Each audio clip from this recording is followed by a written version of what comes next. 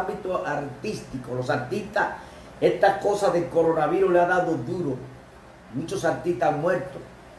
Le tocó en el día de ayer al maestro Sisto Peralta, Echichi. Sisto Peralta fue famoso en los años 80 y pico y 90, cuando la orquesta de Fausto Rey, Fausto Rey, él era pianista de Puerto Plata, y entonces en el día de ayer murió del coronavirus. Eh, pero ya antes, hace varios días, murió el ex pelotero de grandes ligas, casado con una macorizana, que me acuerdo que me la presentó el hermano y amigo Feli Antonio Taveras, idos a destiempo, Damasito García, que era un gran jugador de fútbol en Moca, Mocano, Damasito. Yo conocí su casa porque eh, yo viví en Moca, la familia son mocana y estoy relacionado a Moca. Entonces yo eh, cruzaba mucho por la casa de Damasito, una casa humilde.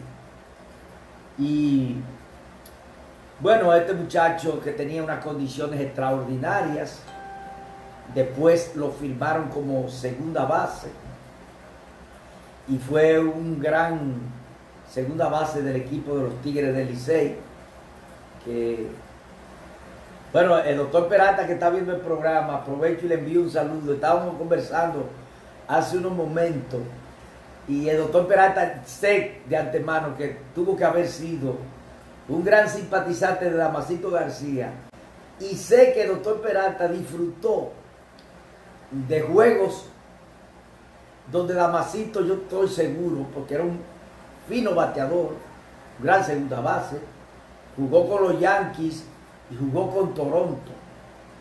Eh, participaste en un juego de estrella, me parece, en par de juegos de estrella. Y Damasito murió. Pero Damasito no murió de coronavirus, porque Damasito tenía muchos años que había tenido un quebranto, que lo tenía postrado. Ahora, el que sí murió fue Sisto Peralta.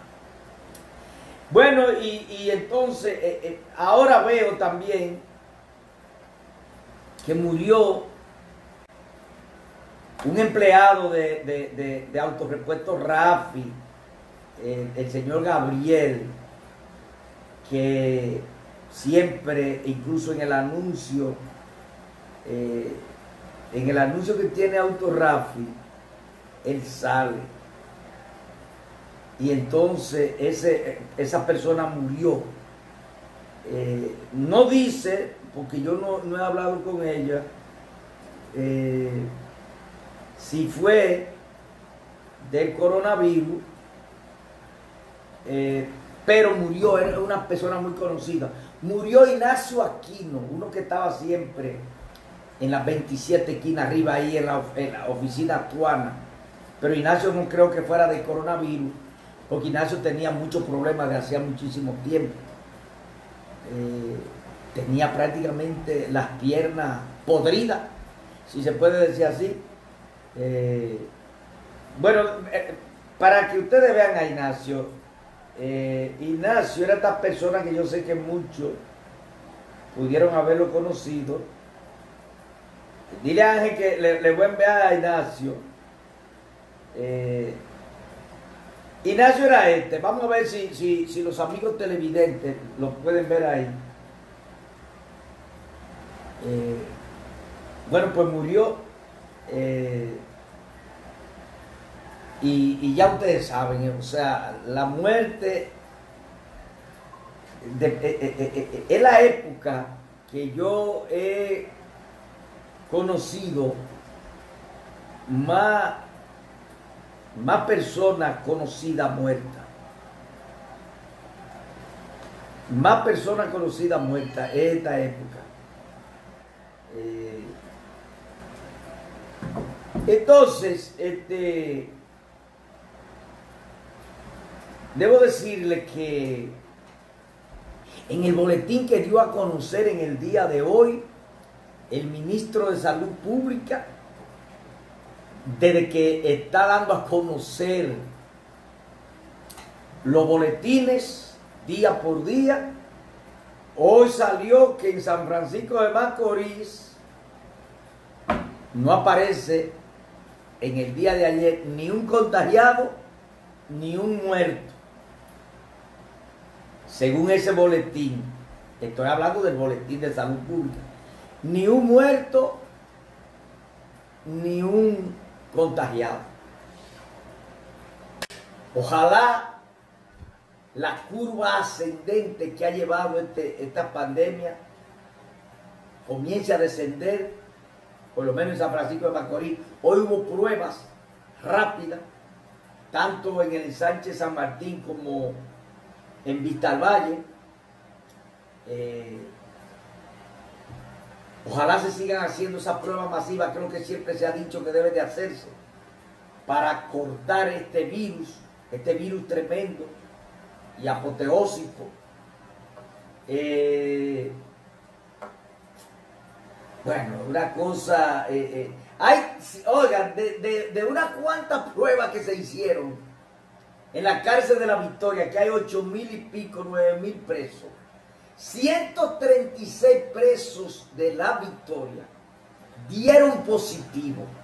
O sea, que una cosa extraordinaria.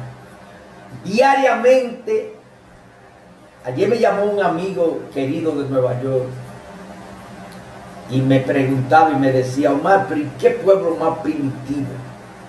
Ese pueblo dominicano que toda la noche apresan de que mil y pico de personas porque violan el toque de queda, como lo escucha a sí mismo él.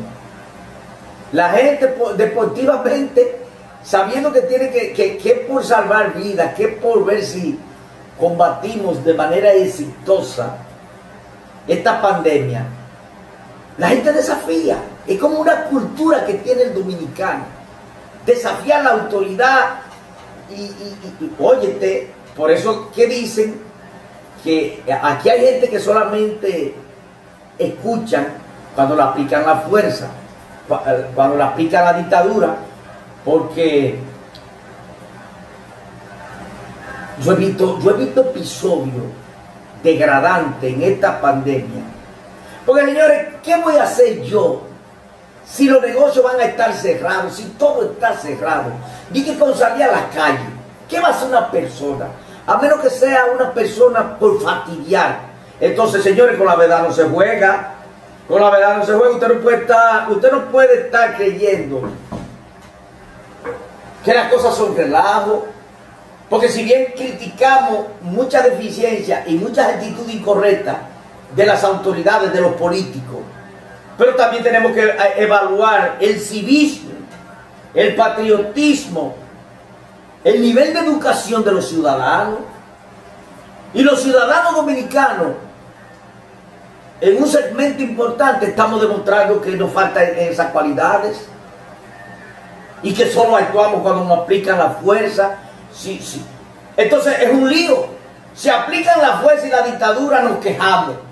Pero caramba, si aplicamos el democratismo y la libertad, nos burlamos de ellos. O sea, que es una cosa...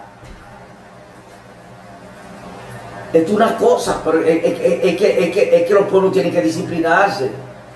La gente no puede actuar como le dé la santa gana y violentar la ley. Es verdad que los gobernantes la violentan, pero una cosa mala no justifica otra cosa mala. Sino de